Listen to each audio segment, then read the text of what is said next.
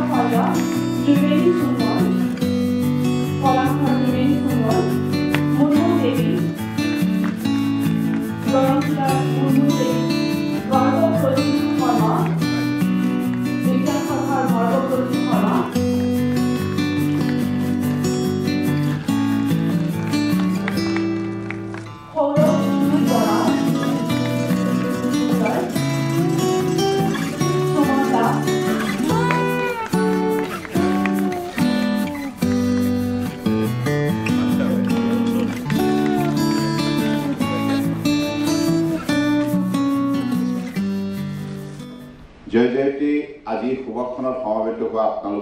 প্ৰতি মই মোৰ আন্তৰিক শুভেচ্ছা জ্ঞাপন কৰিছোঁ আৰু যিসকল ছাত্ৰ ছাত্ৰীয়ে হাইস্কুল শিক্ষান্ত পৰীক্ষা আৰু বিভিন্ন বৰ্ডৰ দ্বাৰা আয়োজিত উচ্চতৰ মাধ্যমিক পৰীক্ষাত পঁচাশী শতাংশ বা তাতোধিক নম্বৰ লাভ কৰি কৃতিত্ব অৰ্জন কৰিছে সেইসকলৰ প্ৰতি মই মোৰ আন্তৰিক অভিনন্দন জ্ঞাপন কৰিছোঁ। আজি এই অনুষ্ঠান ছাত্ৰ ছাত্ৰীসকলক লৈ আয়োজিত হৈছে। গতিকে সেইবাবে প্ৰত্যেকগৰাকী ছাত্ৰ ছাত্ৰীৰ কথা উপলব্ধি কৰা উচিত যে ইমান এখন ডাঙৰ সমাজ সকলোৱে আজি আপোনালোকৰ বাবে ইয়াত উপস্থিত হৈছে। আৰু সকলোৱে সদিচ্ছা কঢ়িয়াই আনিছে। সকলোৱে বিচাৰে যে এইবাৰ পৰীক্ষাত আপোনালোকে যেনেধৰণে সুখ্যাতিৰে উত্তীৰ্ণ হ'বলৈ সক্ষম হ'ল জীৱনৰ প্ৰতিটো পৰীক্ষাত যেন এনেধৰণে আপোনালোকে আপোনালোকৰ সফলতা ধাৰাবাহিকতাত আপোনালোকে অটুট ৰাখে গতিকে তাৰ বাবে যিখিনি কষ্ট স্বীকাৰ কৰাৰ প্ৰয়োজনীয়তা আছে এই কথা নিশ্চিতভাৱে আপোনালোকৰ মাতৃ পিতৃ আৰু শিক্ষক শিক্ষয়িত্ৰী সকলো সময়তে আৰু আপোনালোকৰ যিসকল শুভাকাংক্ষী তেখেতসকলে আপোনালোকক বিভিন্ন সময়ত সোঁৱৰাই যে জীৱনৰ বাটত সফলতা অৰ্জন কৰিব লগা হ'লে প্ৰতিগৰাকী ব্যক্তিৰ পৰিশ্ৰম কৰিব লাগিব। সততা নিষ্ঠাৰে গতিকে যি ব্যক্তিয়ে কঠোৰ পৰিশ্ৰমত মগ্ন হয় সেই ব্যক্তিৰ জীৱনত কেতিয়াও বিফল নহয়। আৰু কেৱল তেওঁ নিজেই সফল হয় এনে নহয়। তেওঁ সফলতাৰ যোগেদি নিজৰ পৰিয়ালটোক নিজৰ সমাজখন নিজৰ ৰাজ্যখন নিজৰ ৰাষ্ট্ৰখনক উদ্বুদ্ধ কৰি তোলে আৰু বিশ্বৰ মানৱ সমাজৰ বাবে এটি সম্পদ হিচাপে স্বীকৃতি বুটলিবলৈ সক্ষম হয়। এই যাত্ৰাটোক সাধনা হিচাপে আপোনালোক সকলোৱে গ্ৰহণ কৰিব লাগিব। একনিষ্ঠভাৱে। একাগ্ৰতাৰে অধ্যয়নত মগ্ন হ'ব লাগিব। কাৰণ পৃথিৱীৰ বুকুত যিমান সংখ্যক সফল ব্যক্তি মহান মনীষী এই সকলোৱে কিন্তু জীৱনৰ যাত্ৰাত সফলতা অৰ্জন কৰাৰ অন্তৰালত তেখেতসকলৰ কঠোৰ পৰিশ্ৰমৰ সাধনা নিয়োজিত হৈ আছে। গতিকে মই ইয়ালৈ আহিছোঁ আজি আপোনালোকক শুভেচ্ছা জনাবৰ বাবে। আপোনালোকে কালৰ বুকুত হেৰাই নাযাব। আজি মোক ডি জি পিয়ে জনাইছে মেট্ৰিকত এশ পঁচিছগৰাকী নহয়? এশ পঁচিছ। ওৱান থাৰ্টি আৰু হায়াৰ ছেকেণ্ডেৰীত পঁচিছ। এশ পঁচপন্নগৰাকীক ইয়াত সম্বৰ্ধনা জনাবৰ নিমিত্তে এই সভা আয়োজন কৰা হৈছে। গতিকে আপোনালোকে আজি মুখমণ্ডলবিলাক মানুহে ধৰা পেলাইছে চিনাক্ত কৰিছে। গতিকে আপোনালোকে হেৰাই যাব নোৱাৰে। আপোনালোকে নিজক জাকত জিলিকা নাগৰিক হিচাপে গঢ় দিব লাগিব। আৰু জাকত জিলিকা পাকৈত নাগৰিক হিচাপে শৃংখলাবদ্ধ নাগৰিক হিচাপে দক্ষতা সম্পন্ন নাগৰিক হিচাপে গঢ় দিব লগা হ'লে আপোনালোকে পৰিশ্ৰম কৰিব লাগিব। আৰু এতিয়া অধ্যয়নত যিহেতুকে আপোনালোকে মগ্ন হৈ আছে গতিকে দৈনিক মই আহ্বান জনাওঁ দৈনিক ন্যূনতম দহ ঘণ্টা আপোনালোকে অধ্যয়ন কৰক। দহ ঘণ্টা। কাৰণ আমাৰ মাননীয় প্ৰধানমন্ত্ৰী ডাঙৰীয়াই এশ ত্ৰিছ কোটি জনগণৰ মাজত এটা শক্তিশালী চেতনা সমাজৰ প্ৰতি দায়বদ্ধতাৰে দায়িত্ব সহকাৰে কাম কৰাৰ চেতনা শক্তি জাগৃত কৰিবৰ বাবে তেখেতে দুহেজাৰ চৈধ্য চনত যেতিয়া প্ৰধানমন্ত্ৰী দায়িত্বভাৰ ল'লে তেতিয়াই প্ৰায় দৈনিক ওঠৰৰ পৰা বিছ ঘণ্টা পৰিশ্ৰম কৰিবলৈ আৰম্ভ কৰিলে। এদিনো কিন্তু ছুটি লোৱা আৰু তাৰ বাবে আজি ভাৰতবৰ্ষৰ বুকুত পৰিৱৰ্তন হৈছে এনে নহয়। বিশ্বৰ বুকুত ভাৰতীয় সমাজখনৰ প্ৰতি এটা নতুন দৃষ্টিভংগীৰে মানুহে মূল্যাংকন কৰিবলৈ আজি সকলোৱে প্ৰয়াস কৰিছে। সি জেপানিছেই হওক চাইনিছেই হওক আমেৰিকান হওক কেনেডিয়ান হওক ইউৰোপীয়ান হওক আফ্ৰিকান হওক এভৰি কিহৰ বাবে কাৰণ য'ত কষ্ট আৰু ত্যাগ থাকে য'ত পৰিশ্ৰম থাকে য'ত সততা নিষ্ঠা থাকে সেইখন সমাজে সমাজত আদৰ্শ সমাজ হিচাপে প্ৰতিষ্ঠা লাভ কৰে। আৰু আজি ভাৰতীয় সমাজখনক আদৰ্শ সমাজ হিচাপে গঢ় দিয়াৰ ক্ষেত্ৰত নৰেন্দ্ৰ মোদী ডাঙৰীয়াই প্ৰধানমন্ত্ৰী হিচাপে সন্মুখৰ পৰা যি দৃষ্টান্তমূলক নেতৃত্ব প্ৰদান কৰিছে তাৰ বাবে প্ৰতিগৰাকী ভাৰতীয় আজি অত্যন্ত আত্মবিশ্বাসী হৈ জীৱনৰ বাটত অগ্ৰসৰ হোৱাৰ নিমিত্তে সংকল্প গ্ৰহণ কৰিছে। কন্যাকুমাৰীৰ পৰা কাশ্মীৰলৈকে অৰুণাচল প্ৰদেশৰ পৰা গুজৰাটলৈকে আৰু কেৱল ভাৰতবৰ্ষৰ মানচিত্ৰৰ ভিতৰত বসবাস কৰা ভাৰতীয় সমাজখনে এই কাম কৰিছে এনে নহয় বিশ্বৰ যি প্ৰান্ততে ভাৰতীয় মূলৰ মানুহে বসবাস কৰিছে সি আমেৰিকা হয় কানাডা য'তে নাথাকক। সকলোৱে আজি ভাৰতীয় সমাজখনৰ বিশেষকৈ মাননীয় প্ৰধানমন্ত্ৰী ডাঙৰীয়াৰ নেতৃত্বক লৈ অত্যন্ত গৌৰৱান্বিত। ইয়াৰ পূৰ্বতে তেনেধৰণে ৰাষ্ট্ৰীয় নেতাই দৃষ্টান্তমূলক সততা নিষ্ঠাৰ কঠোৰ পৰিশ্ৰমৰ উদাহৰণ দাঙি ধৰাৰ পূৰ্বতে নজিৰ নাই। তেখেতেই প্ৰথমগৰাকী সত্তৰ বছৰ স্বাধীনতাৰ ইতিহাসৰ প্ৰথম প্ৰধানমন্ত্ৰী যিগৰাকীয়ে বিশ্বাস কৰে কঠোৰ পৰিশ্ৰমক সততা নিশ্বাস বিশ্বাস আন্তৰিকতাৰে সমাজৰ প্ৰতি শ্ৰদ্ধা ভক্তি ৰাখি কাম কৰিছে আৰু সমাজৰ সকলো শ্ৰেণীৰ ৰাইজক আস্থাত লৈছে বিশ্বাসত লৈছে গতিকে তেনেধৰণৰ এগৰাকী ৰাষ্ট্ৰীয় নেতা যেতিয়া আমাৰ সন্মুখত আছে গতিকে মই ভাবোঁ যে আমাৰ ছাত্ৰ ছাত্ৰীসকলে হওক সৰ্বসাধাৰণ নাগৰিকে হওক প্ৰত্যেকেই তেখেতক অনুকৰণ কৰা উচিত। গতিকে সেইবাবে মই আপোনালোকক আজি অভিনন্দন জনাবলৈ আহিছোঁ। আপোনালোকক এই এষাৰে যে আগন্তুক দিনত এই এশ পঁচপন্নগৰাকী আপোনালোক জাকত জিলিকা অসমীয়া সন্তান হিচাপে বিশ্বৰ বুকুত প্ৰতিষ্ঠা লাভ কৰিব লাগিব। আৰু পাৰিব ভূপেন দাই গুৱাহাটী বিশ্ববিদ্যালয় প্ৰতিষ্ঠা কালতে গী যি গীত ৰচনা কৰিছিল জিলিকাব লুইতৰে পাৰ। অৰ্থাৎ ছাত্ৰ ছাত্ৰীসকলে এই লুইতৰ পাৰটো বিশ্বৰ মানচিত্ৰত জিলিকাই তুলিব লাগিব। আৰু জিলিকিব লগা হ'লে আমি সফল হ'ব লাগিব গতিকে সেইবাবে আমাৰ সফলতাৰ প্ৰতি গোটেই লুইতৰ পাৰটো ভৱিষ্যতৰ দিনত কেনেধৰণে জিলিকি উঠিব ইয়াৰ ওপৰত নিৰ্ভৰ কৰিছোঁ। গতিকে মই এতিয়া বেছি দীঘলীয়া বক্তব্য নিদিওঁ। দুগৰাকীমান এগৰাকী ছাত্ৰ আৰু এজন এগৰাকী ছাত্ৰী। মই মাতিছোঁ। আপোনালোকে আহক। মই আপোনালোকৰ কথা শুনিব বিচাৰোঁ। যিকোনো দুগৰাকী এগৰাকী হাই ছেকেণ্ডেৰী আৰু এগৰাকী মেট্ৰিক নাই আমি শুনিব বিচাৰোঁ। আপোনালোকে কি ভাবিছে জীৱনক লৈ come to the days Uh, just now recently I passed class 12 and মই ক্লাছ টুৱেলভত যিখিনি পঢ়িছিলোঁ ভালকৈ মানে কি ক'ম আৰু এতিয়া মানুহে কৈছিল যে বহুত টান হ'ব ক্লাছ টুৱেলভৰ বস্তুখিনি। টেনতকৈ আৰু টাফ হয়। যিহেতু আমি আগতেও দেখিছোঁ যে যদি ক্লাছ টেনত এশটাই যদি ভাল ৰিজাল্ট কৰে তে ক্লাছ টুৱেলভত হাফেহে মানে ভাল ৰিজাল্ট কৰিব পাৰে। তে তে এটা মনত এটা ভয় এটা সোমাই যায় যে হয়তো বেয়াই হ'ব নেকি আৰু। কিন্তু মই এটাই কথা ক'ব বিচাৰোঁ যে এইটো মনত নোসোমাব যে আপোনাৰ সদায় বেয়াই হ'ব। মানে it might be good or you can do excellence in everything impossible একো নহয়। চিমিলাৰলি মোৰ দেউতা মা যি আছিল যথেষ্ট কষ্ট কৰিছিল।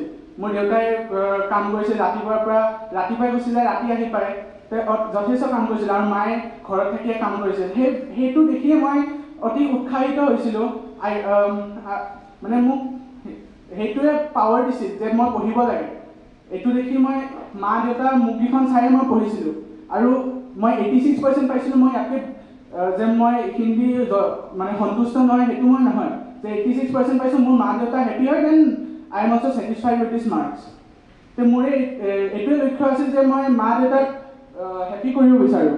And I am successful in this case thank you A very warm good afternoon to one and all present here. Respected Chief Minister of Assam, Shri Sarvananda Sonwal sir, honorable dignitaries on the dais, respected parents sitting over there, and my dear friends. Myself, Priyanka Bhattacharjee from Kendra Vidyalaya Khanapara, Guwahati. Currently, I am a student of 11th standard and I have decided to pursue humanities. Like everybody says that uh, knowledge is something which one should acquire in, a- in his life, irrespective of age and whatever social issues we are uh, facing. Like knowledge is something which is very grand. I have decided to become a civil servant in my future and serve my mother nation. I have heard a very, uh, very means inspiring words from one of the dignitaries. Like uh, she had said that if you have a dream, if you have an ambition and you are making an effort towards it, every day you ask one question to yourself, and that is Is this the best I am giving to myself? Is this the best I can afford? And don't rest till the answer is yes. And I have given this hard work and I have uh, uh, given such patience tolerance I have given to my studies, my hard work has paid. And uh, I want to thank, uh, first and foremost, I want to thank the entire Assam Police Department for uh, giving us such prestigious award. Thank you Thank you so much and have a wonderful day ahead. ছাত্ৰই তেখেতসকলৰ মনৰ কথা ব্যক্ত কৰিলে ছাত্ৰ ছাত্ৰীসকলে এটি কথা মনত ৰখা উচিত তেখেতসকলে হৈছে অসম আৰক্ষী পৰিয়ালৰ সতি সন্ততি অসম আৰক্ষীয়ে দক্ষতাৰে অসমৰ বৰাক ব্ৰহ্মপুত্ৰ পাহাৰ ভৈয়ামত বসবাস কৰা তিনি কোটি ত্ৰিছ লক্ষ মানুহক নিৰাপত্তা নিষ্ঠাৰে প্ৰদান কৰি আহিছে বহু পৰিশ্ৰম কৰিছে ইয়াৰ বাবে। গতিকে আৰক্ষীৰ পৰিয়ালৰ পুত্ৰ কন্যা হিচাপে আপোনালোক প্ৰত্যেকে গৌৰৱান্বিত হোৱা উচিত। Police personality must be powerful আৰু মাননীয় প্ৰধানমন্ত্ৰী ডাঙৰীয়াই কৈছে যে মজবুত নাগৰিক মজবুত দেশ। নহয়নে গতিকে আমাৰ ছাত্ৰ ছাত্ৰীসকলে যিমান দক্ষ আৰু যোগ্য হ'ব সিমানে আমাৰ ৰাজ্যখন বিশ্বৰ বুকুত শক্তিশালী হ'ব। আমাৰ ৰাষ্ট্ৰখন বিশ্বৰ বুকুত শক্তিশালী হ'ব। গতিকে দক্ষতাৰ যোগ্যতা অৰ্জন কৰিবৰ বাবে এতিয়াৰ পৰা এইটো এটা জীৱনৰ আটাইতকৈ সোণালী সময়। This is the golden period of your life গতিকে এই সময়টো হৈছে কঠোৰ পৰিশ্ৰম কৰা সময়। এলাহ নকৰিব। There is no' shortcut to success গতিকে জীৱনৰ বাটত সফলতা অৰ্জন কৰিব লগা হ'লে পৰিশ্ৰম কৰিব লাগিব। অধ্যয়ন কৰক আপোনালোকে। মাতৃ পিতৃসকলে যি দিনে নিশাই উজাগৰি থাকি অসমৰ সৰ্বসাধাৰণ ৰাইজক নিৰাপত্তা দিয়াৰ বাবে যিখিনি কষ্ট স্বীকাৰ কৰিছে আপোনালোকে আৰক্ষী পৰিয়ালৰ সতি সন্ততি হিচাপে নিশ্চয়কৈ এই কথাবিলাক প্ৰত্যক্ষ কৰিছে। অপৰাধীক কাৰেক্ট কৰিবৰ বাবে একো একোগৰাকী আৰক্ষীয়ে যেনেধৰণে জীৱন যুঁজত অৱতীৰ্ণ হয় এইটো সাধাৰণ জাৰ্ণি নহয়। যথেষ্ট প্ৰত্যাহ্বানযুক্ত জাৰ্ণি। সেই প্ৰত্যাহ্বানক যোগ্য প্ৰত্যুত্তৰ দি কেৱল জনসাধাৰণৰ শান্তি আৰু সুৰক্ষাৰ বাবে নিৰাপত্তাৰ বাবে যিখিনি আৰক্ষীয়ে কষ্ট স্বীকাৰ কৰে এই কথাখিনি আমাৰ আৰক্ষীৰ পুত্ৰ কন্যা হিচাপে আপোনালোকে গভীৰভাৱে উপলব্ধি কৰিব লাগিব। আৰু আপোনালোকে সেইবাবে দুগুণ উৎসাহেৰে উদ্দীপনাৰে আপোনালোকে অধ্যয়ন কৰিব লাগিব। আপোনালোকে জীৱনৰ বাটত কোনো যুক্তিতে বিফল হ'ব নোৱাৰিব। সফল হ'বই। লাগিব নিজৰ মাতৃ পিতৃক গৌৰৱান্বিত কৰিব লাগিব। আৰক্ষী বিভাগটো গৌৰৱান্বিত কৰিব লাগিব। আৰু এই কথা প্ৰমাণ কৰি দিব লাগিব যে আপোনালোকেও বিশ্বৰ মানৱ সমাজৰ বিভিন্ন কৰ্মপথাৰ যোগ্যতাৰে দক্ষতাৰে নেতৃত্ব দিব পাৰে। আৰু নেতৃত্ব ল'ব লাগিব আৰু আপোনালোকে আগন্তুক দিনত সেই নেতৃত্ব বহন কৰিব পৰা যোগ্যতা অৰ্জন কৰাৰ বাবেই আপোনালোকে উৎসাহ উদ্দীপনা দিবৰ বাবে আজি এই অনুষ্ঠান আয়োজন কৰা হৈছে। একেবাৰে নাপাহৰিব এইবিলাক সাধাৰণ অনুষ্ঠান নহয়। এই অনুষ্ঠানৰ যোগেদি আমি এটা বাৰ্তা দিব বিচাৰিছোঁ আপোনালোকক যে আপোনালোকে এতিয়া সাধাৰণভাৱে চিন্তা কৰিলে নহ'ব। নিজৰ মাতৃ পিতৃক আনন্দিত কৰি তুলিব লাগিব সমাজখনক আনন্দিত কৰি তুলিব লাগিব আৰু ৰাজ্যখনক আৰু ৰাষ্ট্ৰখনক গৌৰৱান্বিত কৰি তুলিব লাগিব বিশ্বৰ পাৰিব এই পৃথিৱীত নোৱাৰাৰ কোনো কামেই নাই। মানুহৰ বাবে সকলো সম্ভৱ যদিহে একাগ্ৰতা নিষ্ঠা আন্তৰিকতা আৰু সততা থাকে। গতিকে সেইখিনি শক্তি ঈশ্বৰে আপোনালোকক দি পঠিয়াইছে।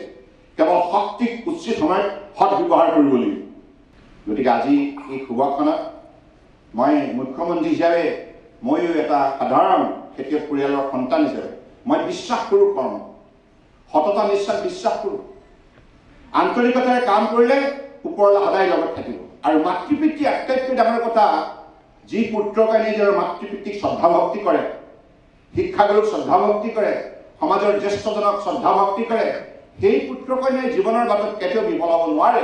সেই পুত্ৰ কন্যাই জীৱনৰ বাটত কেৱল নিজৰ বাবে শান্তি আয়ত্ব কৰিব এনে নহয় দহজন মানুহক হাঁহি ঋণ হ'ব পাৰে গতিকে হাঁহি স্মাইল সহজ এইটো সহজলভ্য শক্তি নহয় এইটো ঈশ্বৰ প্ৰদত্ত শক্তি।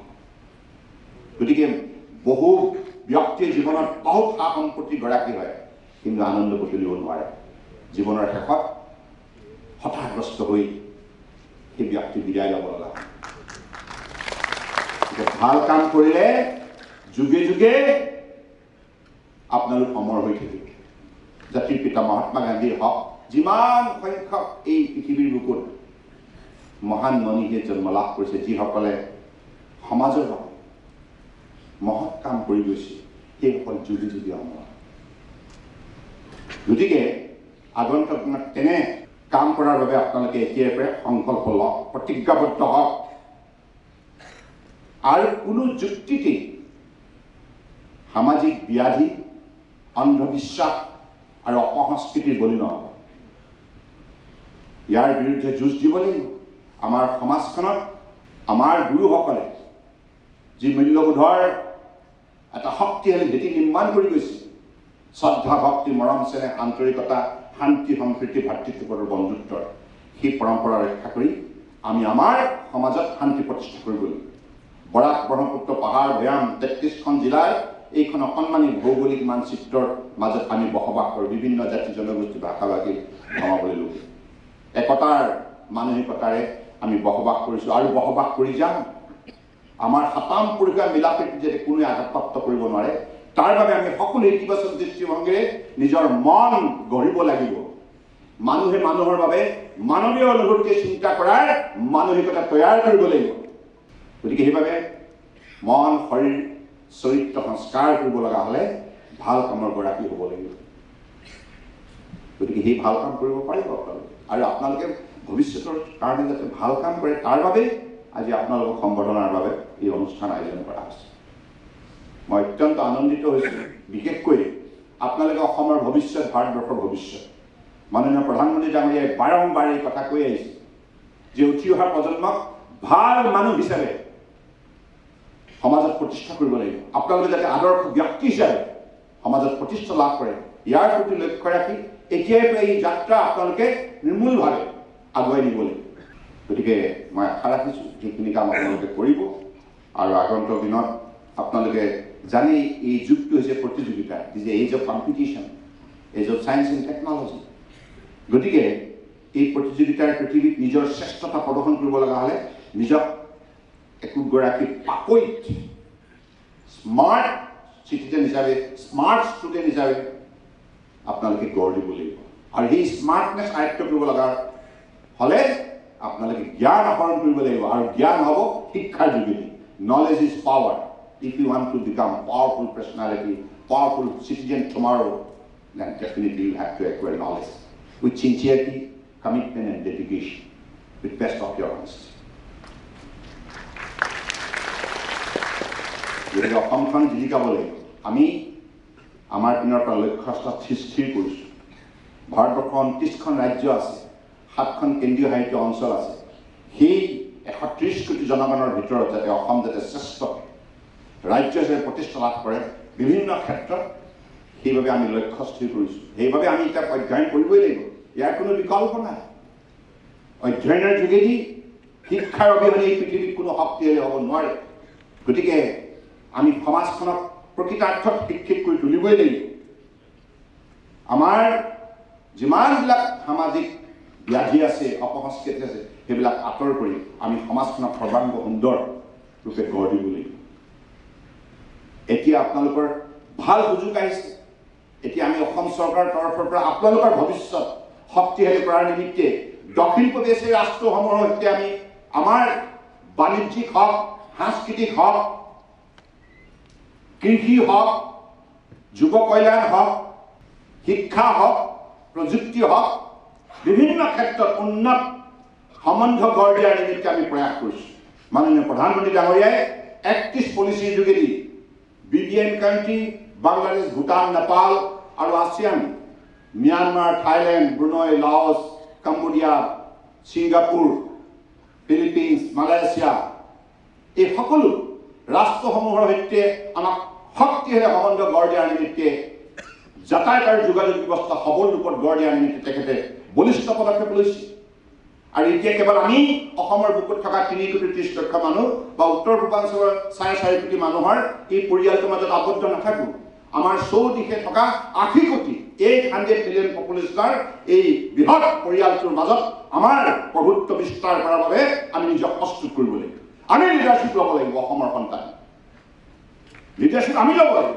Science technology agriculture tourism in every field of human activities will have to take the leadership আৰু সেই লিডাৰশ্বিপৰ বাবে আপোনালোকে এতিয়াৰ পৰা নিজক গঢ় দিয়াৰ বাবে মন বান্ধৱ সকলো সম্ভৱ এই মানচিত্ৰখন সদায় সন্মুখত ৰাখিব গুৱাহাটীক আমি এতিয়া কেৱল উত্তৰ পূৰ্বাঞ্চলৰ দুৱাৰমুখ হিচাপে আবদ্ধ ৰাখিব বিচৰা নাই সীমাবদ্ধ ৰাখিব বিচৰা নাই গুৱাহাটীক আমি আজি দক্ষিণ পূব এছিয়াৰ দুৱাৰমুখ হিচাপে গঢ় দিব বিচাৰিছোঁ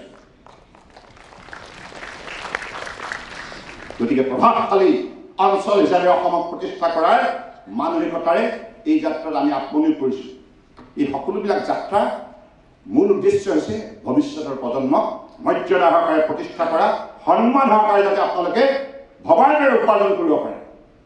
এই লক্ষ্যৰে এই বাতাবৰণ তৈয়াৰ কৰা হৈছে। গতিকে সেইবাবে পঢ়া শুনা কৰিবই লাগিব।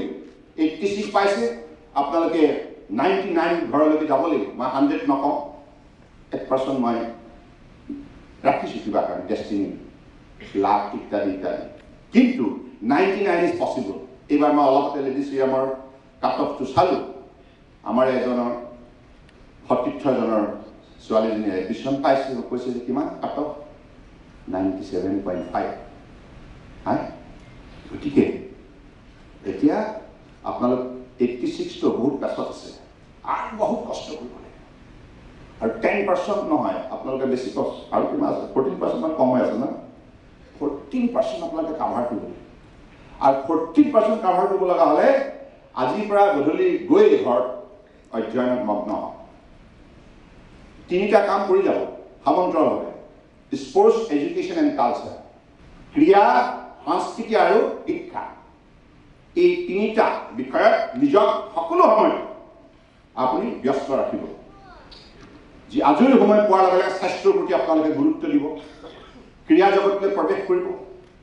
আৰু সাংস্কৃতিক এটি মন তৈয়াৰ কৰিব লগা হ'লে সাংস্কৃতিক আমাৰ শতাংশ পুৰুষে যিবিলাক কৃষ্টি সংস্কৃতি ঐতিহ্য আছে যিবিলাক বিভিন্ন ধৰণৰ উপাদান আছে শিকিবলগীয়া গুৰুজসকলে প্ৰতিষ্ঠা কৰা সেই পৰম্পৰাগত আমাৰ যিবিলাক সাংস্কৃতিক ভঁৰালৰ সম্পদ আছে সেইবিলাক আপোনালোকে আয়ত্ব কৰিবৰ বাবে সেইবিলাক চৰ্চা আপোনালোকে আত্মনিয়োগ কৰিবৰ বাবে চেষ্টা কৰিব। তেতিয়াহ'লে মনটো সকলো সময়তে সজীৱ হৈ থাকিব। সুস্বাস্থ্যৰ অধিকাৰী হ'ব সুস্থ মনৰ অধিকাৰী হ'ব আৰু একোগৰাকী বুদ্ধিমত্তাৰে পৰিপুষ্ট মেধাসম্পন্ন নিজক ছাত্ৰ ছাত্ৰী হিচাপে প্ৰতিষ্ঠা কৰিব পাৰে। এডুকেশ্যন এণ্ড কালচাৰ এটা কথাই আছে। ক্ৰীড়া শিক্ষা ক্ৰীড়া আৰু সংস্কৃতি এৰিব নোৱাৰা লগৰীয়া নাই তেনেকুৱা এটা কথাও আছে। এই মানে তিনি মহাশক্তি যদি আপুনি ইয়াৰ পৰা যদি আপোনালোকে তিনি জিন্টুমণি কলিতা এখন মহান কৰ্মপথাৰৰ পৰা যদি আপোনালোকে শক্তি আয়ত্ব কৰিবলৈ সক্ষম হয় তেতিয়াহ'লে আৰু আপোনাক জীৱনত কোনোৱে পৰাভূত কৰিব নোৱাৰে গতিকে সেইবাবে মই ভাবোঁ যে এইখিনি কথাত আপোনালোকে গুৰুত্ব দিব আৰু মই বিশ্বাস ৰাখিম আৰক্ষীৰ পৰিয়ালৰ সতী সন্ততি হিচাপে আপোনালোকে বিশেষকৈ গৌৰৱান্বিত হোৱা উচিত মই ভাবোঁ এগৰাকী আৰক্ষীয়ে জনসাধাৰণৰ নিৰাপত্তা প্ৰদান কৰিবৰ বাবে কিমান কষ্ট স্বীকাৰ কৰে। অতিৰিক্ত দায়িত্ব পালন কৰে। গোটেই উজাগৰে গোটেই নিশা থাকিব লগা হয়। তেনেধৰণৰ পৰিয়ালৰ আপোনালোকে সতী সন্ততি হিচাপে আপোনালোক গৌৰৱান্বিত শ্ৰেয়াশী You Goswami. Should feel proud of being a son of a, you know, policeman. Policeman. গতিকে ইমান এটা শক্তিশালী উৎসাহজনক এটা পৰিৱেশৰ পৰা আপোনালোক আজি শিক্ষাৰ দুৱাৰদলিত উপনীত হৈছে গতিকে মই ভাবোঁ যে আপোনালোকে নিশ্চিতভাৱে সফল হ'ব। এইখিনি কথাকে কৈ আজি সভা আয়োজন কৰাৰ বাবে অসম আৰক্ষী ডি জি পি তেখেতৰ সতীৰ্থ সকলোকে মই ধন্যবাদ জনাইছোঁ। আৰু বিশেষকৈ মাতৃ পিতৃসকলকো শ্ৰদ্ধা জনাইছোঁ। আপোনালোকে কষ্ট স্বীকাৰ কৰিছে। আপোনালোকে নিজৰ পুত্ৰ কন্যাৰ চোৱা চিতা কৰাৰ বাবে তেওঁলোকে ভাল ফলাফল দেখাবলৈ সক্ষম হৈছে। আৰু আপোনালোকে এই ক্ষেত্ৰত উদগনি দিয়ক। আৰু মই ছাত্ৰ ছাত্ৰীসকলৰ বাবে আহ্বান জনাব বিচাৰিছোঁ মাতৃ পিতৃ আৰু শিক্ষক শিক্ষয়িত্ৰী প্ৰতি সদায় শ্ৰদ্ধাশীল হৈ আপোনালোকে কাম কৰি যাওক। নিশ্চিতভাৱে সফল। ধন্যবাদ।